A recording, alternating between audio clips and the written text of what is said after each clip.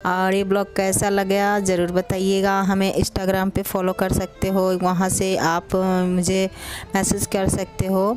और प्लीज़ दोस्तों, और तो मैं देखो, अंदर भी गंदा था, वो भी मैं लगा ले रही हूँ, बाहर भी मतलब साफ़ कर दी हूँ।